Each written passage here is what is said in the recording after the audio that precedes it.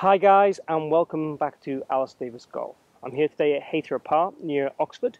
I'm joined by Jeremy Dale, trick shot expert and PGA coach and we're sharing with you a great drill today that's going to help debug you for your short game. So it's called Edward Scissorhands, I believe. It is, absolutely. An Australian journalist called it that. He said, what do you call that trick? I went, I have no idea. He went, how about Edward Scissorhands? And the movie was, I mean, it's that long ago that the movie was still popular then. So we went with it. And what you'll notice in this video, if you see the other videos I've done with Jeremy, which obviously there'll be a link down below to see the Who playlist, Jeremy's doing this one left-handed. Now, the other videos we've done with Jeremy are right-handed, and you might be thinking, okay, well, that's a bit strange. So, you know, tell, tell the viewers what that's about. Oh, it's definitely strange. Um, yeah, I play both ways, and um, that gave me the idea of putting together a switch hitting golf show. I'd heard about baseball players that could switch hit, um, and I tried a, a, um, a left-hander's uh, club one day um, after a lesson and, and, found I could sort of hit an okay shot. Um, anyway, cut a long story short, I ended up switching. I relearned the game and I put together this switch hitting golf show, which I've been uh, performing all around the world for, for, for ages. And the, this, this trick illustrates the one key thing that it really taught me. And the, we, I mean, as, as coaches, we talk about the path of the club, the direction in which the club is swinging as it strikes the ball.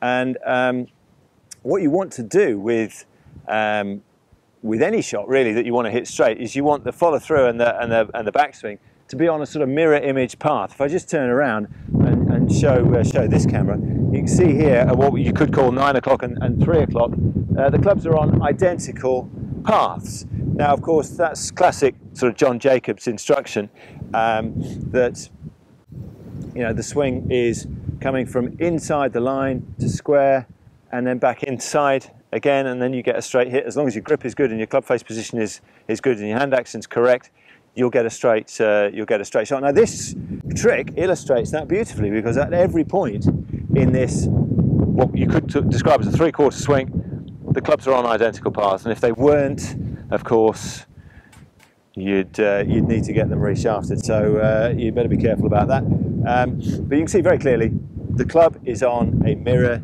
image track. Uh, another way of saying the same thing is that a left-handed backswing, you see, is actually the same as a right-handed follow through. Now if you understand that, then you get back to a very simple idea of what the swing is. It's a sort of circle uh, from 9 to 3 or, or longer uh, that's, that's on that mirror image path. And that's really what left-handed and right-handed golf taught me. Okay. And what kind of, just sort of the views, what kind of level do you play at both right and left-handed? Is it similar or is there a difference? Uh, no, I'm better left-handed now, uh, and I switched because it felt more comfortable. I thought I would become better. Um, my, uh, my best score is one under right-handed and six under left-handed. So, Very good. Yeah, and I've had eight holes in one as well. This annoys people as well. Two right-handed and six left-handed. So, yeah. So still yeah. yet to have one. really? Yeah. Oh, sorry. so from my point of view, this drill is really good to let you flow. It to helps you stop thinking yeah. technically, and it, again, it improves hand-eye coordination, which we talked about in other parts of the video. But really, it just lets you flow, lets you swing, find its natural kind of space. And as said, as you said quite rightly, if you don't get it on the right kind of plane or path, you're going to get collision.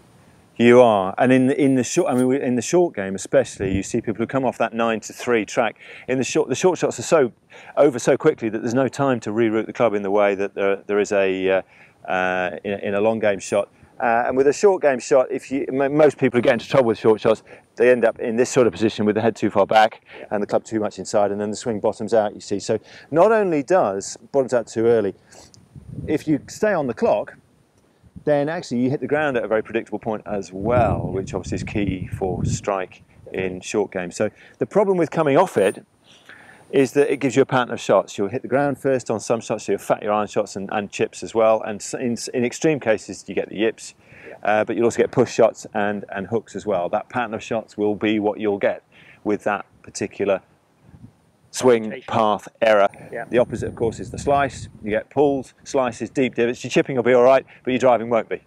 Yeah. And tops as well. So you get a pattern of shots. So you're probably more consistent in your game uh, watching this as an amateur golfer, a, a handicap golfer at home, uh, you're probably more consistent in your path uh, than you think you are. It's just that it happens to give you different results. Sure.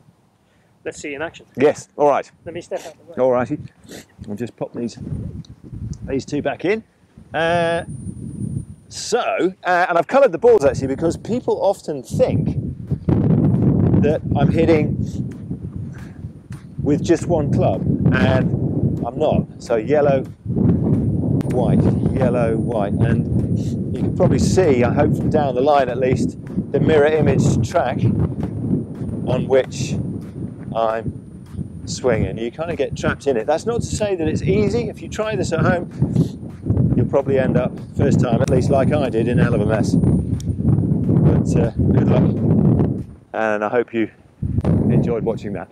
Okay, great. So hopefully you enjoyed that little demonstration of the Edward scissor hand drill. Again, for me, if you can practice it and probably practice it with three or four balls to start off with and build up to six. well, to yeah, 10. even without balls, actually, just to. Uh, uh, and one thing I didn't mention um, is don't try and cross the hands that way. Okay. Whatever hand is higher, whichever it doesn't matter, even matter what it is, stays higher. Otherwise, you'll get into Trouble. a bit of a mess. Yes, Okay. exactly. I'd try it without a ball first. Okay, excellent. I'll be giving that a go in the range next few weeks. Uh, maybe I'll post a video of me doing it in the future. Maybe. Uh, but thanks, Jeremy, for coming and taking part. Appreciate your time. Appreciate absolute, your absolute pleasure. your thoughts on how we do it.